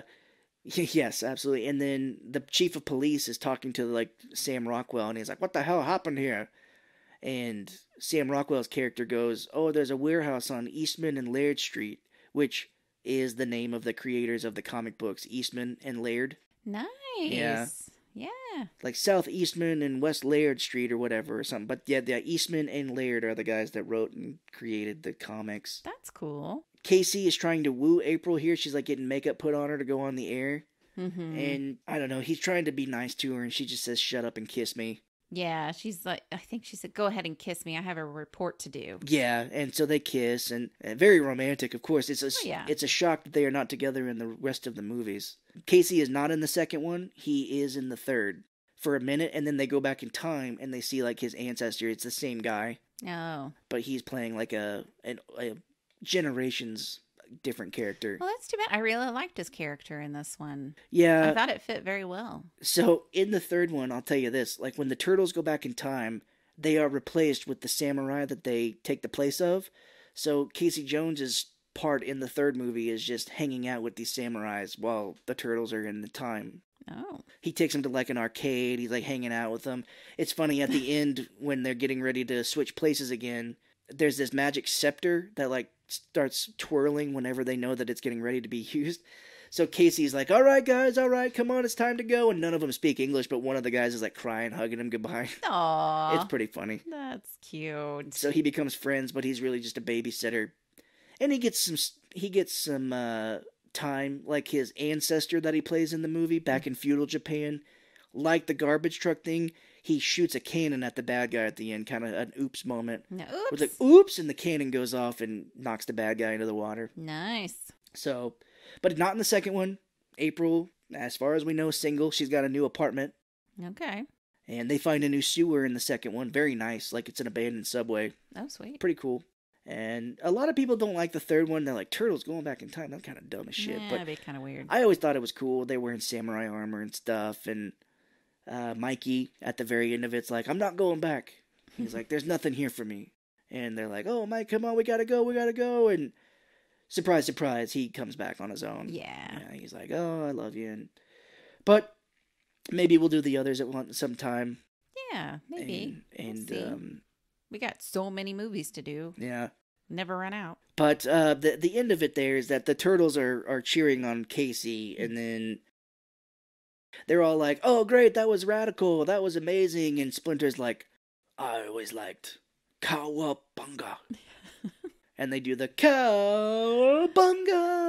He's so funny. He's like, uh, I made a funny. Yeah, he's like, "I made a funny." that comes back again. He does that in the others where he's like, "I made another funny." Uh, I think that's a cute. Yeah. That's a cute. That's a cute. So, like movies in this time frame, at the credits we get a rap that just explains everything that happens. Mm-hmm. Where it's like turtles, they're turtles, they're going around, they're fighting the shredder who's got stuff all around. Yeah, and it's like they were turtles in a sh- turtles in a sewer and got got subjected to mutagen, and now they're fighting the shredder, and the shredder's gonna get him, and now he's getting them, and oh boy, he's got Splinter. And I don't know, but it just tells you the movie. that's funny. Yeah. Like Raphael, he's pissed at everyone. So it just, yeah, it's just one of those raps where it tells you the story. oh, that's great. Ghostbusters, I think, had one. Ghostbusters 2. It's like, spirits, don't fear it. I can't remember it, but I think that's kind of cute. That's clever. yeah. I don't know. All those movies kind of had that. I think The Super with um, Joe Pesci had that too. It's like, he's a super and he's now in this building and he's watching over these people and oh boy, it ain't going well. It's Um, like the um, what's that show?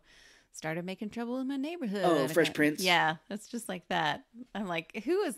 If anybody ever, yeah. if anybody's ever watched that show, you probably know that theme song. At Oh, the yeah, of beginning course. From Heart. I mean, Yeah. it's just so fucking catchy.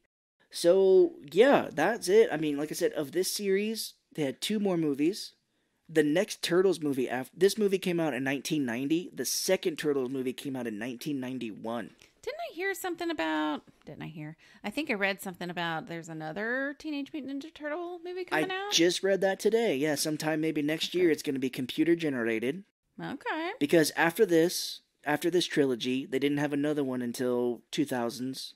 They did um, well. They had a TV show that didn't do well, but then they did a computer generated movie, which I thought was good. Okay. It didn't do very well, I think.